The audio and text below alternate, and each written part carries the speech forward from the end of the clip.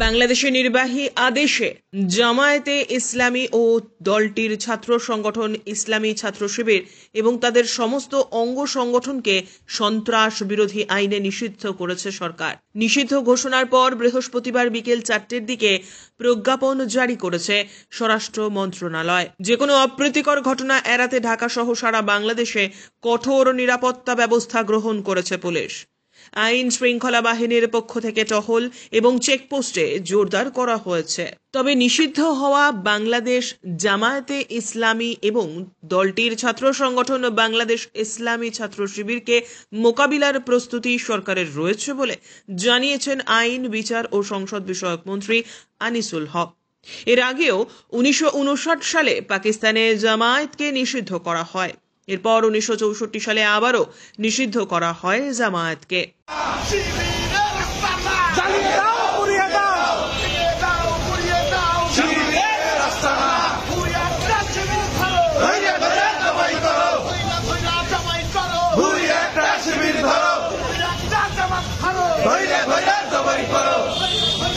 এছাড়াও বাংলাদেশ স্বাধীন হবার পর উনিশশো বাহাত্তর সালে জামায়াতে ইসলামীকে নিষিদ্ধ ঘোষণা করা হয়।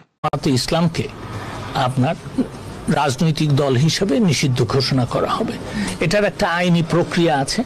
সেই আইনি প্রক্রিয়া গত পরশু আমরা শুরু করে দিয়েছিলাম এবং সেই আইনি প্রক্রিয়া শুরু করার মধ্যে এটার কিন্তু এই যে গেজেট নোটিফিকেশন হয়, সেটারও কিন্তু একটা কিছু আইনি বাধ্য বাধ্যবাধকতা পূরণ করতে হয়। তো সেই কারণে গতকালকে স্বরাষ্ট্র মন্ত্রণালয় এই আইনি বাধ্যবাধকতা পূরণ করে আজকে সকালে এটা আমাদের আমার মন্ত্রণালয়ের লেজিসলেটিভ ডিভিশনে পাঠানো হয়েছিল এবং লেজিসলেটিভ ডিভিশনে পাঠানো হওয়ার পরে আমরা এটাকে ভেটিং করে আমরা আবার এটাকে স্বরাষ্ট্র মন্ত্রণালয়ে পাঠিয়ে দিয়েছি। আমার মনে হয় যে কিছুক্ষণের মধ্যেই স্বরাষ্ট্র মন্ত্রণালয় এই গেজেট নোটিফিকেশন পাবলিশ করে স্বরাষ্ট্র মন্ত্রণালয়ের জননিরাপত্তা বিভাগের রাজনৈতিক শাখা দুই থেকে জারি করা প্রজ্ঞাপনে বলা হয় আন্তর্জাতিক অপরাধ ট্রাইব্যুনালের দেওয়া কয়েকটি মামলার রায় বাংলাদেশ জামায়াতে ইসলামী এবং এর অঙ্গ সংগঠন বাংলাদেশ ইসলামী ছাত্র শিবিরকে উনিশশো একাত্তর সালে মুক্তিযুদ্ধকালে সংগঠিত গণহত্যা, যুদ্ধাপরাধ এবং মানবতা বিরোধী অপরাধের দায় হিসেবে গণ্য করা হয়েছে।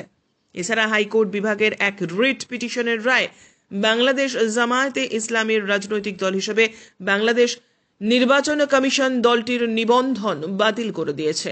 আপিল বিভাগ, হাইকোর্ট বিভাগের ওই রায়কে বহাল রেখেছেন বলে প্রজ্ঞাপনে উল্লেখ করা হয়। এতে আরও বলা হয়, সরকারের কাছে যথেষ্ট তথ্য প্রমাণ রয়েছে যে বাংলাদেশ জামায়াতে ইসলামী এবং এর অঙ্গ সংগঠন বাংলাদেশ ইসলামী ছাত্র শিবির সাম্প্রতিককালে সংগঠিত হত্যাযোগ্য ধ্বংসাত্মক কার্যকলাপ ও সন্ত্রাসী কর্মকাণ্ডে সরাসরি এবং উস্কানির মাধ্যমে জড়িত ছিল।